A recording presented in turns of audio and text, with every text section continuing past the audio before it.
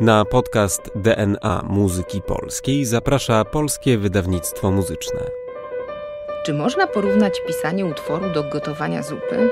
Przyzwyczajeni do romantycznych ideałów, mitu artysty, o każdym twórcy, także z wcześniejszych epok, chcemy myśleć w tych wzniosłych kategoriach, a więc natchnienie, wielkie, genialne dzieła, nienaruszalne i doskonałe. A przecież kultura muzyczna to także muzyka pisana szybko i na bardzo konkretne potrzeby. Taka, która wymaga wielu dopowiedzeń od wykonawcy. O takiej twórczości i zapomnianej postaci urodzonego w XVIII wieku Jakuba Gołąbka dziś opowie specjalistka od muzyki dawnej, historycznie poinformowana i, jak się okazuje, chwilami niezwykle pragmatyczna. Zapraszam, Agata Kwiecińska.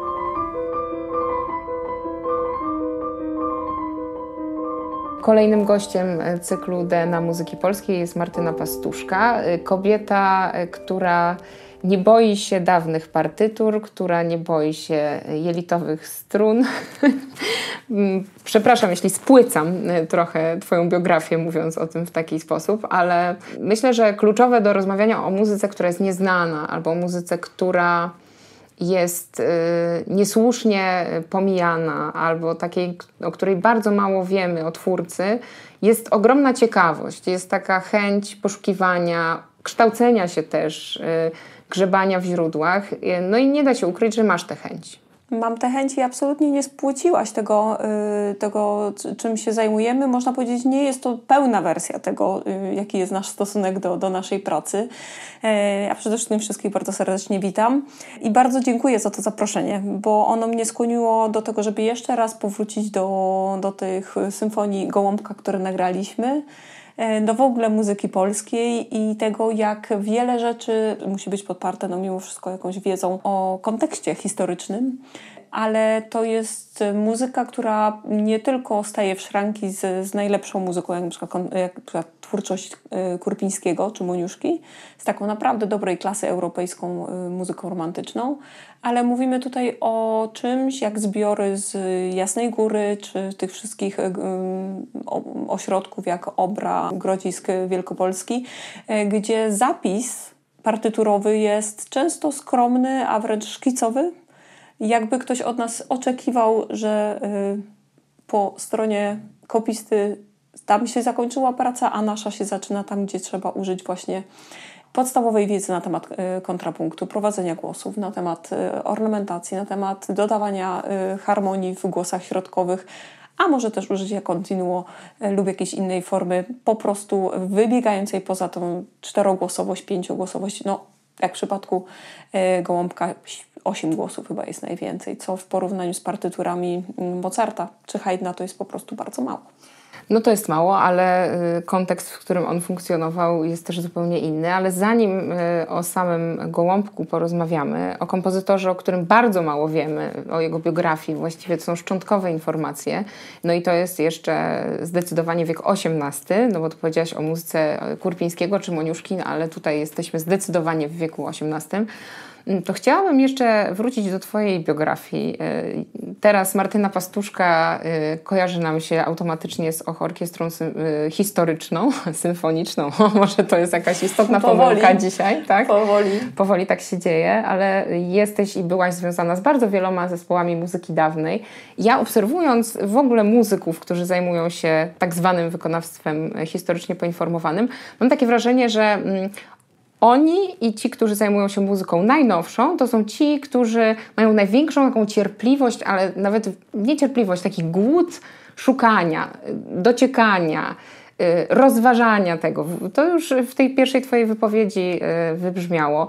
Ale powiedz, czy to, co Cię doprowadziło do 2012 roku i założenia swojego zespołu, też jakby wynika z tego, że masz takie poczucie, nie wiem, misji, posłannictwa, y, że trzeba te utwory no nie tylko tego Bacha, tego Vivaldiego, Monteverdiego e, czy Händla grać, ale właśnie tych kompozytorów, o których wiemy tak mało i to jest e, często wielka krzywda dla ich twórczości.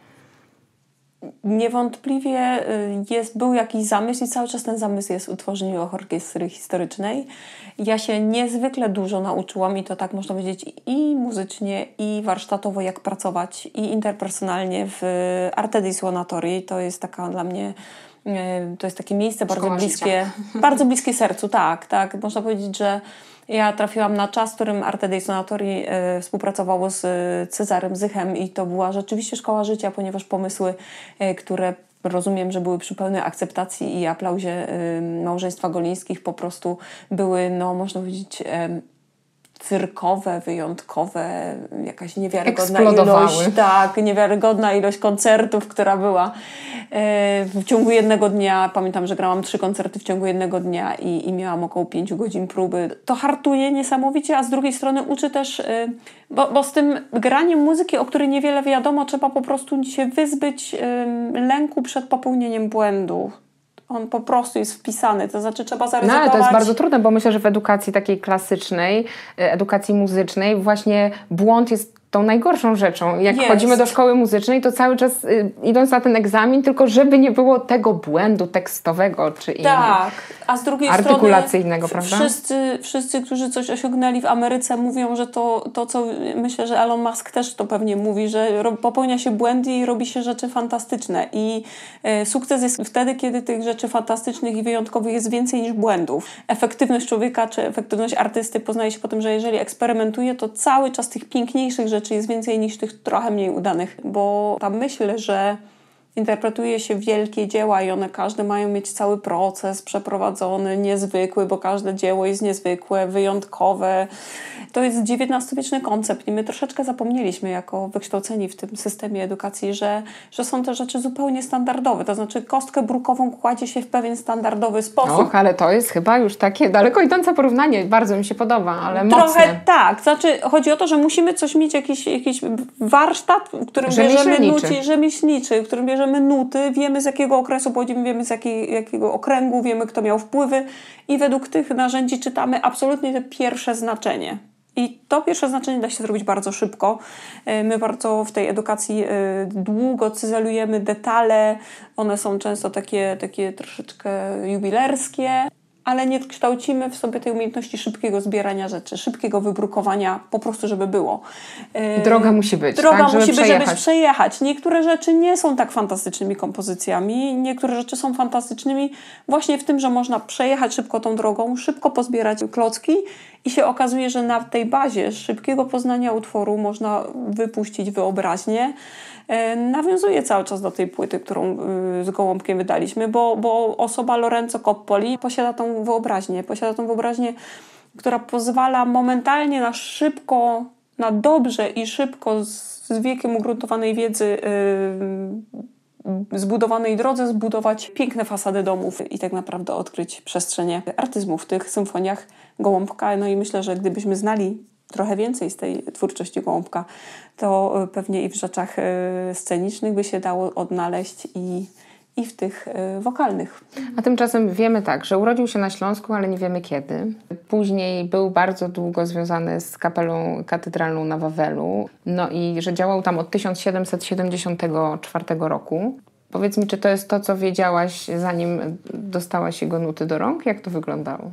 Tak, wiedzieliśmy y, tyle, y, że to jest Śląsk, prawdopodobnie czeski, który był pod y, jurysdykcją austriacką. Wiedzieliśmy, że jest związany z Krakowem.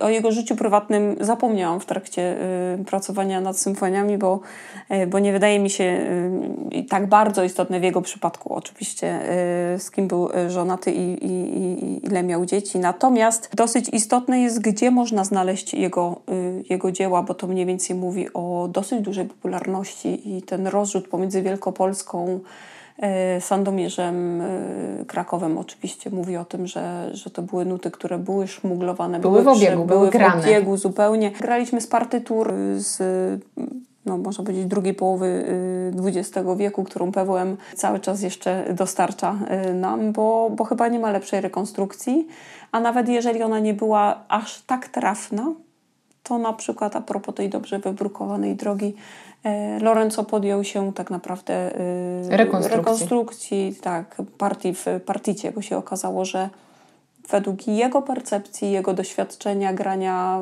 tylu, tylu symfonii Haydna i Mozarta, prawdopodobnie te głosy powinny trochę inaczej wyglądać według jego uznania. To jest licencja poetyka i ja myślę, że to bardzo zbliża tych, którzy grają wczesną muzykę z tymi, którzy grają najnowszą. Tak, tak. Ta swoboda. Y, swoboda, no ale też taka konieczność doprowadzenia do szczęśliwego finału. Tak. No bo gdyby y, usztywnić się, y, zestresować i poczuć, że no, no jak to, brakuje nam i albo przy prawykonaniach tak jest też, prawda, że, że no coś nie, jest nie do zagrania, no to jeśli nawet już nie ma kompozytora, bo też i tak bywa, no to jest pytanie, czy w ogóle poddajemy się i nie gramy, czy jednak gramy. No i i raczej zawsze jest taka decyzja tych, którzy muzykę wydają na świat, czyli, czyli Was, wykonawców, tak. no, że jednak chcemy to pokazać, prawda? Tak, i to nawet e, jeżeli kompozytor jest wśród nas i to pytanie pada, jak to zagrać, to i tutaj wracamy znowu do tego dobrego warsztatu, dobrze wybrukowanej drogi. I on mówi, no to zmień tekst tak, żeby to się dało zagrać. Czyli oczywiście mówimy, że muzyka jest jakąś niesamowitą ideą, jest czymś, co jest ponadczasowe ale jest jakiś poziom przydatności po prostu i tego, co takiego, takiego ludzkiego. Jeżeli mhm. coś nie jest możliwe, tylko było w mojej wyobraźni, to sprowadźmy to do, do, do, wspólnego mianownika z tym, co jest wykonalne na dzisiaj w tym danym zespole, w tym danym miejscu. Ja sobie wyobrażam i zresztą bardzo często tak jest, yy, grając opery z początku XIX wieku. Jest bardzo dużo solówek, partii solowych altówki na przykład y, w, w paryskich operach mm, z tamtego czasu. Spontini, y, Cherubini.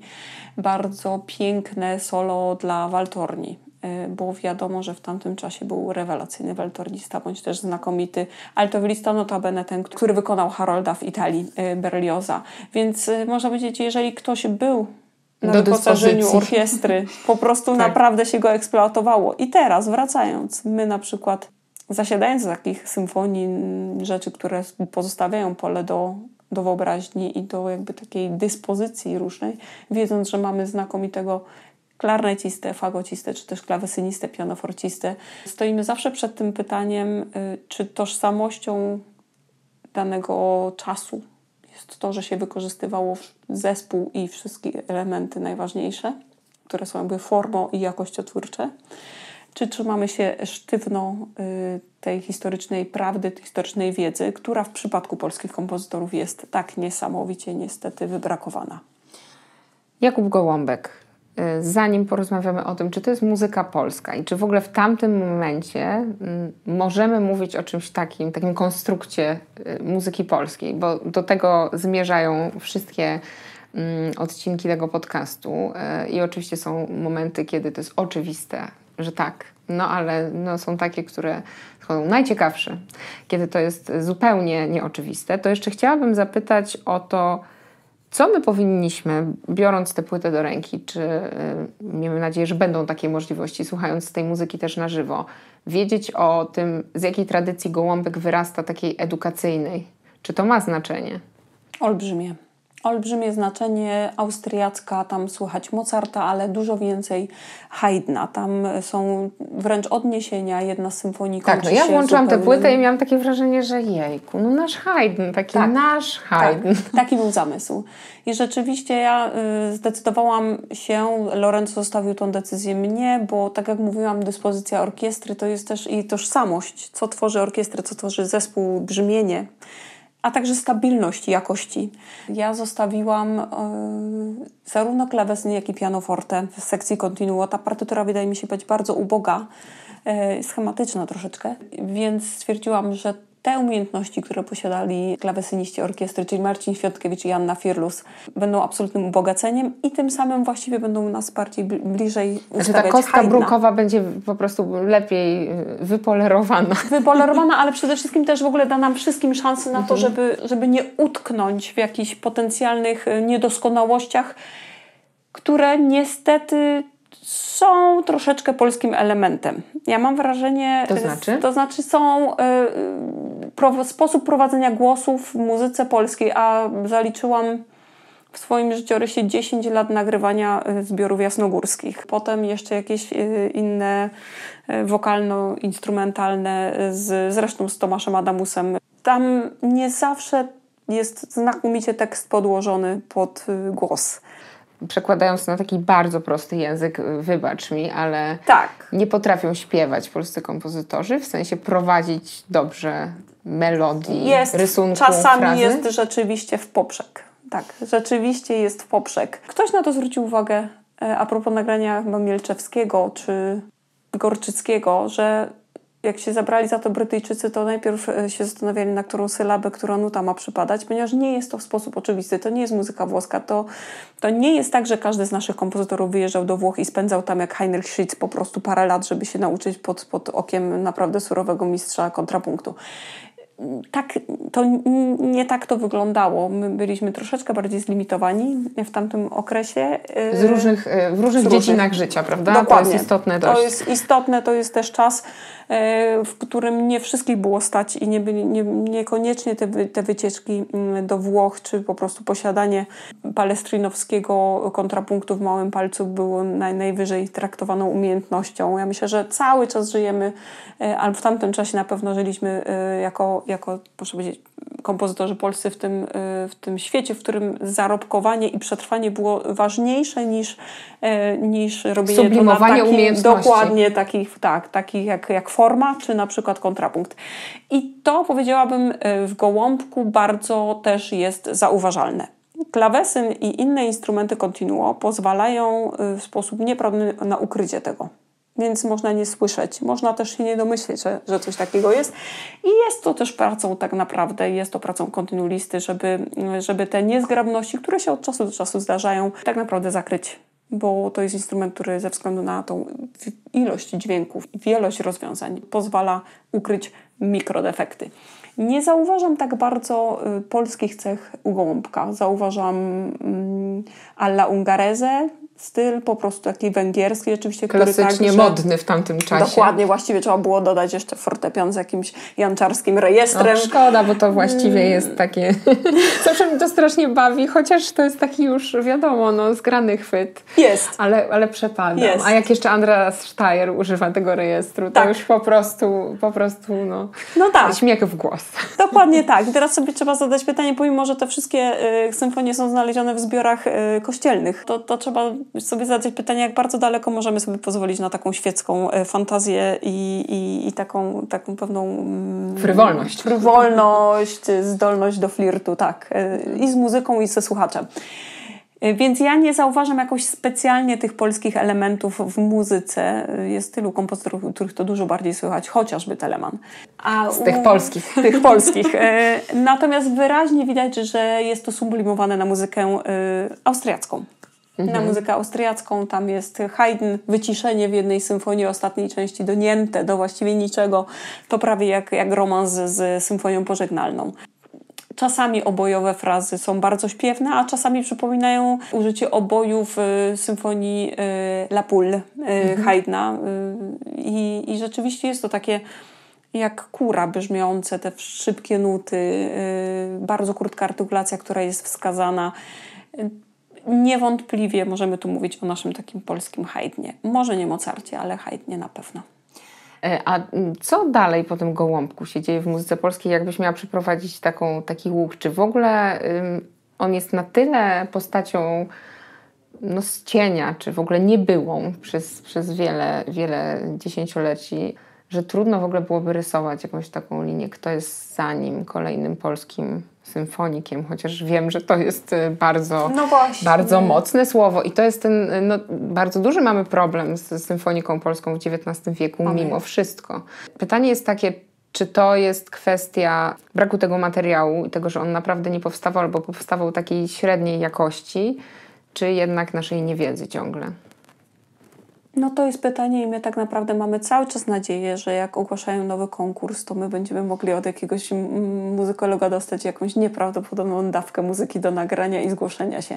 Ja bym powiedziała, mnie się wydaje, jak tak analizuję właśnie, gdzie zostały przechowywane te zbiory, yy, gdzie odnajdujemy Gołąbka, ja bym powiedziała Elsner z jego muzyką kościelną. Ja bym raczej Gołąbka nie tak bardzo utożsamiała z muzyką yy, symfoniczną. Trochę za mało formalnie ona jest yy, zaawansowana. zaawansowana, żeby być symfoniką. W tym znaczeniu takim on jakby nie odczuwał potrzeby ani czteroczęściowej formy, ani wyjścia poza binarną, repetycyjną, czyli dwuczęściową. To są, jeżeli są ronda, one są naprawdę schematyczne, takie mm, użytkowe. Ostatnimi czasy czytałam, że sonata krojcerowska została wykonana podczas mszy tak, w epoce. Znaczy normalna praktyka wykonywania sonat, symfonii w trakcie mm, mszy. No tak, to ja faktycznie myślę... zmienia nasz sposób e, postrzegania tej muzyki, kiedy my ją zupełnie w innym kontekście teraz sytuujemy. Tak, ja myślę, kompletnie. że te symfonie spokojnie mogły być wykonywane po prostu w trakcie uroczystości kościelnych. Tak jak y, koncerty skrzypcowe Tartiniego rzeczywiście miały przeznaczenie do być, być wykonywane na dziękczynienie. Ja myślę, że Elster jest dla mnie, z tego też co grałam, co miałam przyjemność budować tę muzykę, zarówno gołąbka od skrzypiec, potem dodając kolejne głosy. Najpierw są próby oczywiście, żeby w ogóle odczytać, czyli, czyli powiedzmy organy i, i smyczki, potem dochodzą dęte, na, na samym końcu dochodzą, jeszcze dochodzą soliści, a potem dochodzi chór. E, powiedzmy, że taki przebieg jest pracy nad, nad utworem. To było niezwykłe uczucie, bo w przypadku Mozarta czy, czy Bacha nawet jak już tylko altowilista i wiolonczelista przychodzi na próbę w przypadku Bacha, a wszyscy inni by się spóźnili, bo nie wiem, bo samolot by nie, nie wylądował. Cały czas jeszcze można mieć wrażenie y, przy altówce i basie, y, że to jest nieprawdopodobne dzieło. Znaczy to już wiadomo z partii altówki solo, że to będzie coś niezwykłego. W przypadku zarówno Gołąbka, jak i Elstera y, zachwyt rośnie w miarę pojawiania się nowych instrumentów coś, co schematycznie wygląda na niezwykle proste, przy dodaniu wielu elementów okazuje się naprawdę być bogatym yy, Ale to jest tworem. kwestia y, harmonii, czy instrumentacji, czy... Pewnej użytkowości, myślę. Wrócę tylko do tego pytania o to, czy, nasi, czy, czy to jest tak, że nasi kompozytorzy, czy tych nie ma tych fantastycznych dzieł, czy nasi kompozytorzy byli fantastyczni, czy nie byli fantastyczni. Zapominamy o tym, że użytkowość muzyki była naprawdę taka, że trzeba było ją tworzyć z dnia na dzień w niewiarygodnych ilościach. Więc ten, ten warsztat, który mm, po prostu był, to napisanie basu, sopranu, wypełnienie środków najczęściej należało do kopistów. Po prostu jaki młody adept po prostu dostawał bas i sopran, a już dalej mistrz przesyłał dalej, mówił, a ty tam zrób ten alt i tenor. Tenorowi się najgorzej obrywało, czyli partię altówki, no bo wypełniał wszystkie dźwięki, które właściwie były, mm, były brakujące brakujące w, w, schemacie. I to nie zawsze jest dzieło nieprawdopodobnej jakości, bo też nie takie było jego przeznaczenie. Nikt w tamtych czasach, będąc muzykiem, nie myślał o sobie, że jest artystą. E, muzyk był e, na równi, no może trochę wyżej w hierarchii niż piekarz, ale może nie wyżej dużo niż kucharz na przykład. Ja myślę, że kucharz artysta to jest coś takiego samego jak muzyk artysta. Zapominamy o tym, że mhm. trzeba też zupę zrobić. Partie, partie środkowe w gołąbku Partie środkowe w Elsnerze to jest po prostu codzienne gotowanie, takie bez frykasów. Po prostu trzeba to zrobić. Bo Robi się to, zjeść. Bo trzeba zjeść, bo trzeba napisać nową mszę, trzeba napisać nową kantatę. I to jest w standardzie. I teraz oczywiście im więcej jest tych kompozytorów, którzy mają nieprawdopodobny standard, to naturalne zdolności, a zwłaszcza jeżeli mówimy o mężczyznach, którzy zajmowali się tym, to jest wchodzenie w rywalizację tak? pewna sublimacja swojego zawodu. To powoduje, że ta jakość jest cały czas lepsza. Dlatego możemy powiedzieć, że Niemcy mają jakąś nieprawdopodobną ilość znakomitych kompozytorów. Graupner, nie wiem, pewnie niewiele osób słyszało o Graupnerze, 600-800 kantat. Niemcy miały bardzo dużo małych księstw, które miały swoje własne dwory i one miały swoje własne kapele. Więc można powiedzieć, że ta rywalizacja była doprowadzona do nieprawdopodobnie wysokich y, obrotów. Tak samo we Włoszech. Cała w ogóle mhm. konstrukcja mhm. państwa polegająca na księstwach no, wymusza jakby rywalizację.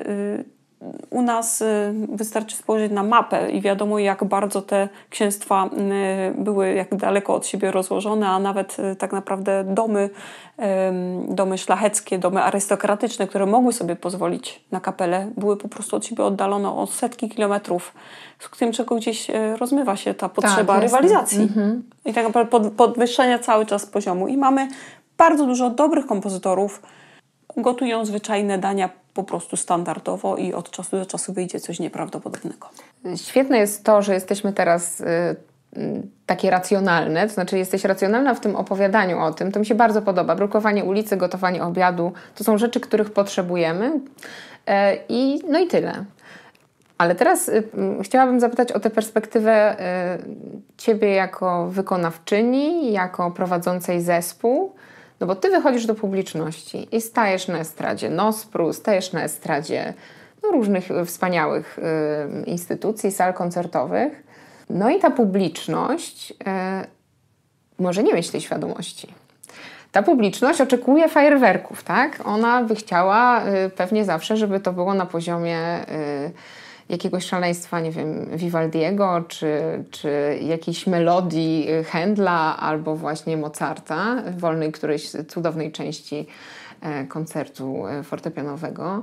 To mnie zastanawia nawet już nie tyle, jak ta publiczność reagowałaby na takiego gołąbka, czy reaguje, ale to, czy y, wasze granie, bo mówisz często o sobie w, czasie, w liczbie mnogiej jako, jako o zespole, to mi się też bardzo, bardzo rzuciło w uszy, to zmienia jakoś perspektywę y, twoją taką mentalną, wychodzenie z właśnie tą muzyką, o której ty wiesz, że to jest y, świetny zwyczajna. produkt swoich, cza swoich czasów, zwyczajna rzemieślnicza, dobra, ale rzemieślnicza, a nie wysoce artystyczna robota. To znaczy ona jest rzemieślnicza, ponieważ kompozytor oczekuje od wykonawcy, że on dołoży swoją połowę.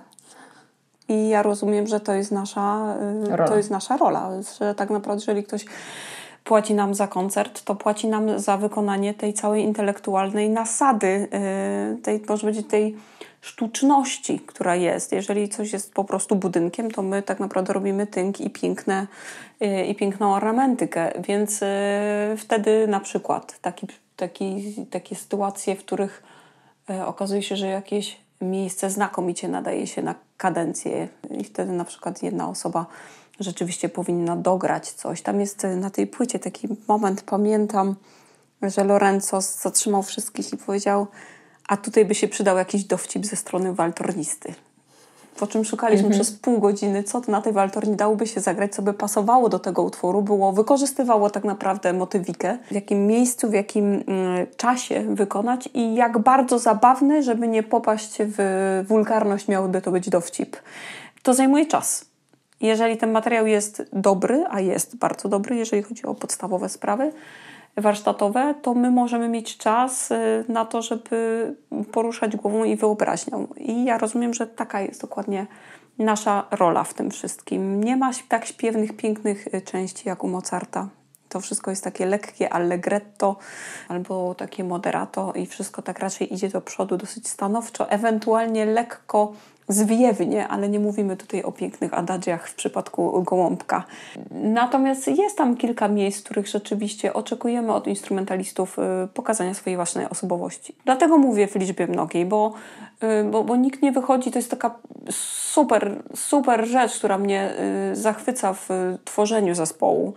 Tak naprawdę trzeba być wszystkim innym wdzięcznym za to, że, że wychodzimy razem na scenę. To jest wszystko, co tworzymy, wszystko, co się dzieje, jest produktem y, nie tylko naszych umiejętności, ale też tego, że warunki na próbach i generalna relacja między ludźmi, zaufanie do własnych y, umiejętności i możliwości intelektualnych musi być na tyle duże, żeby pozwalało być kreatywnym. Kreatywność rodzi się tylko w warunkach zaufania i, no i pewnego takiego bezpieczeństwa.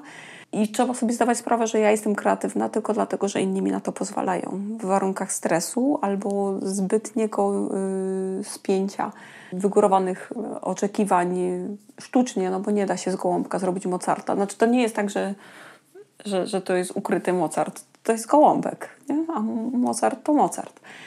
Y, natomiast to jest szalenie przyjemna muzyka, a my z naszej strony dołożyliśmy tą drugą połowę, która ma powodować, że ludzie powiedzą, ach, fantastyczna płyta, albo świetnie się tego słucha. Wiesz, że jak wstaję rano, to wypiję kawę i właśnie mam wrażenie, że mogę iść do pracy i pracować 12 godzin na dobę.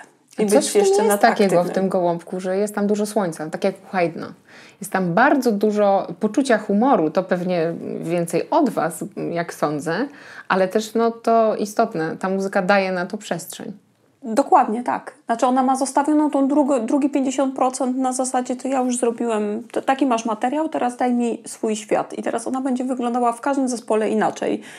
Ja widzę przestrzenie na to, żeby, żeby dołożyć y, coś od siebie. Zwłaszcza, że teksty źródłowe jasno mówią o tym, żeby skrzypkowie prześcigali się w ornamentacji. Jest nieustannie zaznaczają czy Kwanz, czy Mozart chociażby w swoich traktatach absolutnie tylko pierwszy skrzypek może ornamentować partię, bo inaczej jest okropna kakofania, jaką często można słyszeć w zespołach. Znaczy, że ludzie mieli nieprawdopodobny imperatyw twórczy, że to nie tylko skrzypkowie, bo przecież jak skrzypkowie, to czemu oboista miałby się czuć tutaj jakimś mniej istotnym, skoro najprawdopodobniej dużo lepiej e, potrafi wymyślać miłe melodyjki w górnym rejestrze i tak dalej, i tak dalej. A jak oboista, to, to pewnie mówimy też o pewnej relacji z fagotem, bo przecież te instrumenty niesamowicie często ze sobą konwersują w muzyce już zapisanej. My dołożyliśmy naszą część, którą uważam jest obligatoryjna, jest po prostu częścią naszej pracy i też naszą przyjemnością. Po co grać, jeżeli nie można by było ten mały element własnej osobowości y, dać i usłyszeć kogoś innego?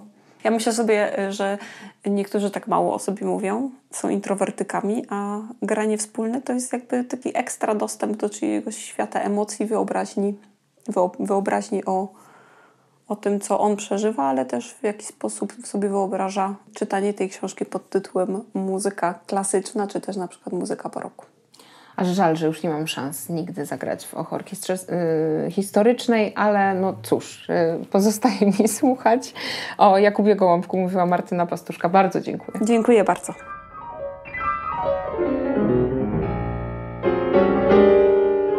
Wydawcą podcastu DNA Muzyki Polskiej jest Polskie Wydawnictwo Muzyczne.